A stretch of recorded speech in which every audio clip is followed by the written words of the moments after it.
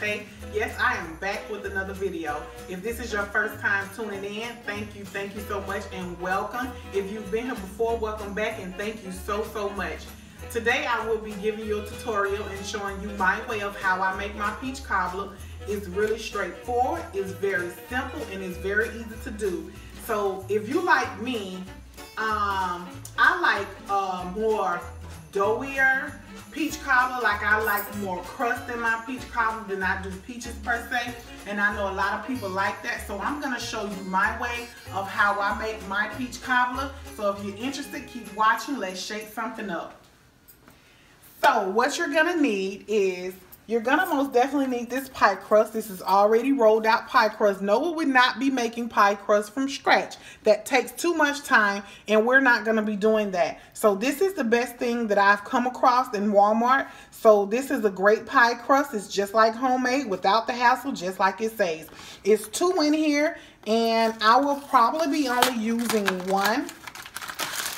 They come like this in the pack rolled up dough just like this so you want to have them kind of sort of been sitting out for about an hour. So you would need that. You will need some vanilla flavoring. It doesn't have to be the original, um, the best vanilla flavoring because we're not baking anything from scratch, but we are making a semi-homemade peach cobbler. Um, you need some ground cinnamon. Um, I have some cooking spray, butter cooking spray for my pan. I have some brown sugar, a whole stick of butter. I have a half a cup of milk a half a cup of flour, a half a cup of sugar, and two cans of 29 ounce of peaches. All right, these are peaches that in heavy syrup. No, we will not be cutting up peaches today. So we're gonna start really quickly. I'm gonna turn my stove on, medium high heat. I'm gonna go ahead and add my whole stick of butter.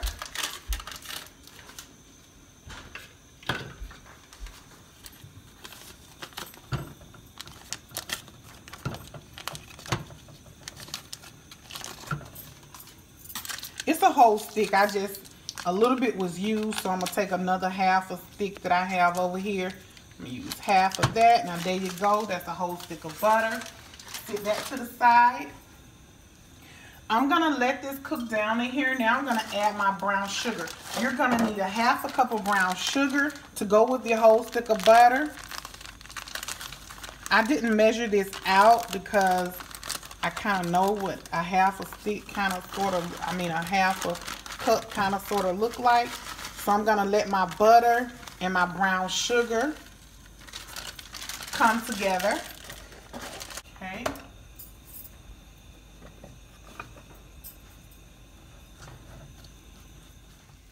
All right, so now that my um, sugar and butter has melted through, you're just going to stir it and you're going to have it on kind of medium low heat. You don't want it to burn.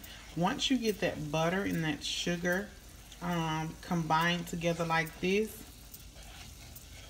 just all mixed in there well, then you want to go ahead and add one can of your peaches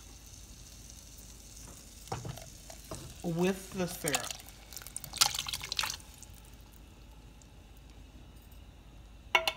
And then you want to strain the other can. Strain the juice off the other can. Just like so. And then you're going to add that.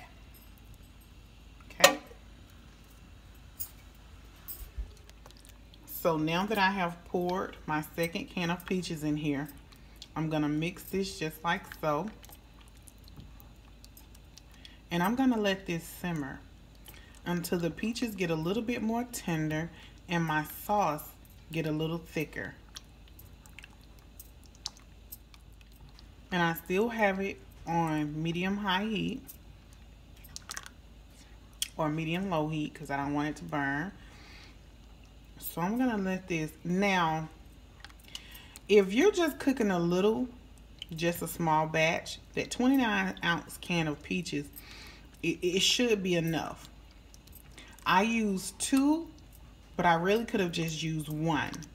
Um, I may not use all of this filling. Also, I like to do If I had a potato masher, I would crush some of my peaches up. I don't like my peaches whole like this. I'm going to let them cook down until they're nice and soft.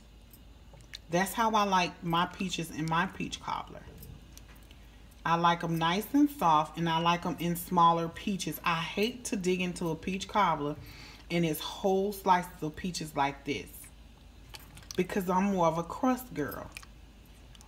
So I'm to let, let this sit here and let this cook. Let it simmer for about 10 minutes and I'll come and show you after 10 minutes what it looked like. All right, you guys, this has been boiling now for about 15 minutes. I'm going to turn the stove off. My sauce did thicken up a little bit and my peaches did get a little softer, which is great. It doesn't have to be super thick. Your syrup for this recipe doesn't have to be super thick, and I'm to show you why. All right, so I'm to go ahead and add me about a tablespoon of cinnamon to this.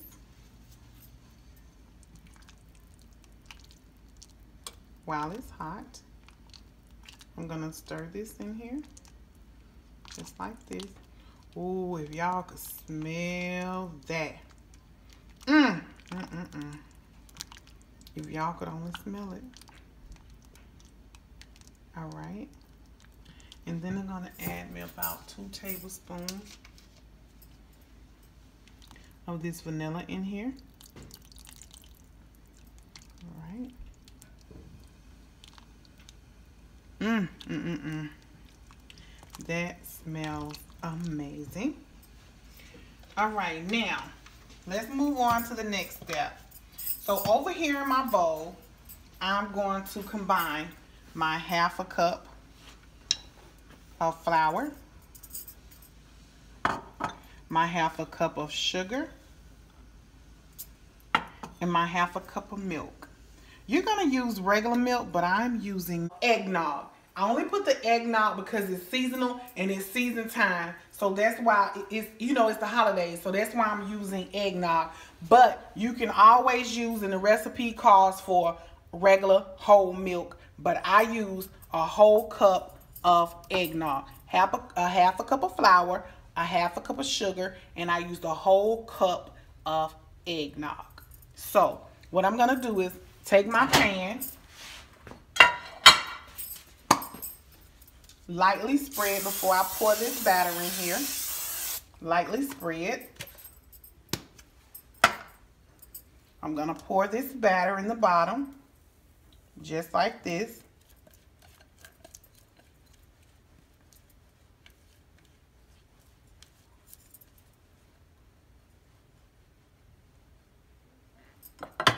At this point here, if you want to take your batter, you want to sprinkle a little sugar, a little cinnamon, a little nutmeg, whatever you want to do to it, you can do it because it is your peach cobbler that you're making and you can do what you want to do with it. And don't let nobody else tell you otherwise. So I'm going to take my peaches and I'm going to spoon this right into this.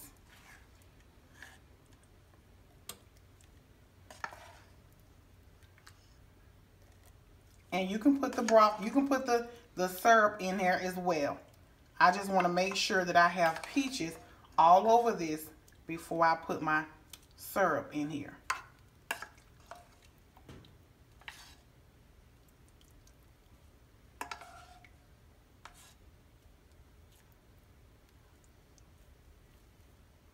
Okay. Don't stir this. Just lay it right on top just like this. And this is a 9 by 13 glass baking dish. So if you have a bigger dish, then hey, you're going to put more peaches if you like. So that's not all the peaches that I made. So now I'm going to add this broth right on top.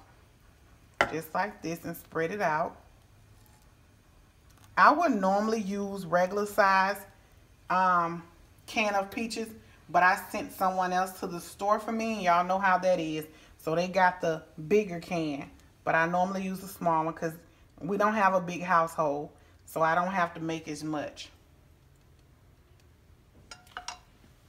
And I'm gonna sit this to the side and I'm gonna roll out my dough. So I spread it out my dough. This is the one roll, just like this, that has set out to get a little soft. So I'm just gonna cut this. And this is a pizza cutter, so if you have one of these, you can use it. I'm just gonna make these lines just like this.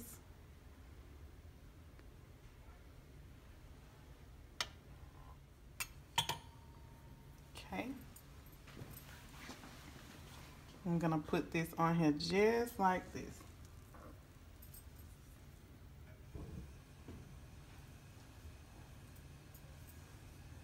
And y'all don't have to be perfect.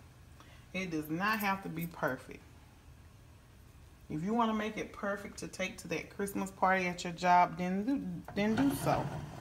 But it does not have to be perfect.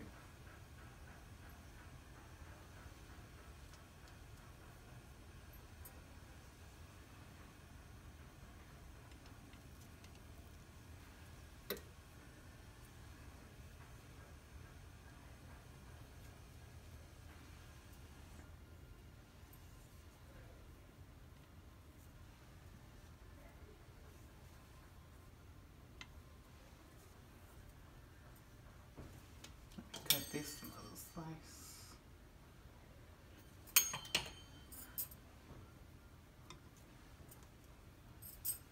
All right.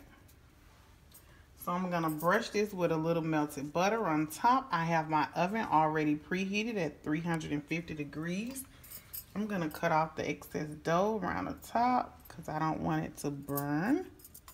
So I'm gonna take this melted butter and brush it across the top of this dough just so it can brown evenly.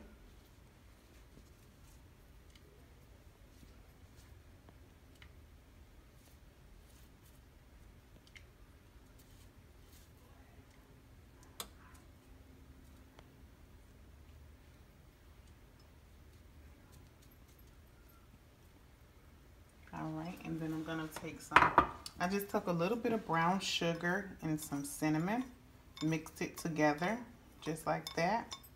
I'm just to sprinkle a little bit on top.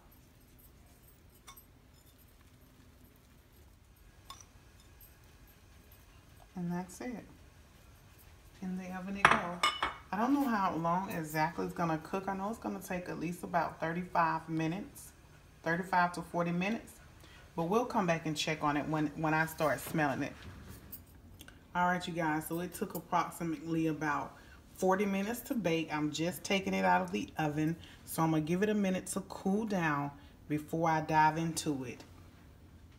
All right, y'all. So it has been 15 minutes and my peach cobbler has cooled down.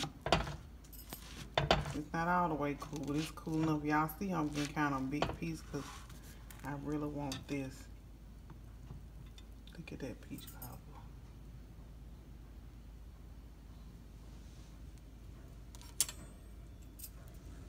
Mm. Look at that. Look right here. Look at the peach cobbler and the sauce is oozing out of there. Mm, that looks good. So I'm gonna put me a little Cool Whip on top. This the extra creamy brand. If you want to put you a little bit of um, ice cream, you can do that. It's your peach cobbler. I'm gonna put a little whipped topping on top of mine, a little extra scoop. All right, y'all, so look now. I got me some peaches, some whipped cream, some crust, a little bit of that dough stuff I made for the bottom. Mm, let me go ahead and taste this because I can't wait. still a little hot. Mm. Mm. Mm.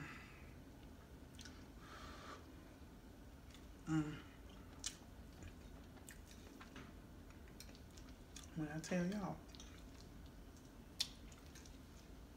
this is good. It's flaky. It has the crust at the bottom. The little mixture that I made with the eggnog. Now, let me tell y'all this. It does cost for milk, But since it's the holidays, everybody is using eggnog. Why not? I can't really per se just drink eggnog, but I can put it in, put it in some cake, some peach cobbler. You can do whatever you want to do with it. It's yours. This is how I make my peach cobbler my way. So I'm teaching you how I do that. Look at the flakiness of the crust. Look at the peaches. Look at all that dough, that that crust that I made, that mixture. Look at that. That that makes this extra special for me.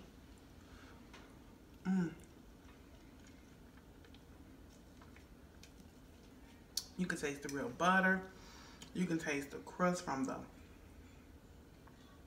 the actual dough that I cut up, the pre the pre-made dough that I got from Walmart. You can actually taste the crust. It's kind of like a crusty, flaky on top. It is really, really good.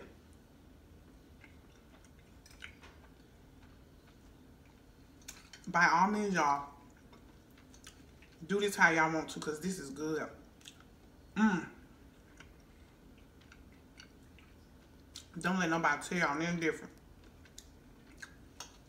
This is absolutely amazing. Mm.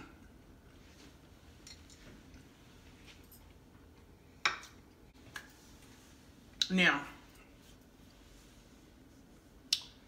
don't sit up here and eat all that peach cobbler like I'm finna do. The rest of that's on my plate if you if you think it's a little bit too sweet and you want to cut down on the sugar you can but I, I promise you it's not it's not sweet it's not sweet as you think it. Because the eggnog was sweet and then I put um actually a cup of sugar in that's all I, I that's all I used was a cup of sugar. I used a cup of brown sugar a half a cup of brown sugar and the peach sauce that I used and I used a half a cup, of the white sugar. So it's only one cup of sugar and the eggnog was sweet itself. So, you know, that's what made it sweet, but it's perfect. It's the perfect texture. So let me know if you guys like this. Let me know if you tried it or if you make your peach cobbler similar to this just let me know in the comment sections. I want to appreciate you all for tuning in to Shake It Up with Shante tonight. If you have not done so, go ahead and subscribe. Don't forget to hit the thumbs up button and don't forget to like this video. Also, don't forget about that notification bell. Every time I upload a video, you'll be notified. Thank you guys. Have a nice night. I'm going to finish enjoying this peach cobbler.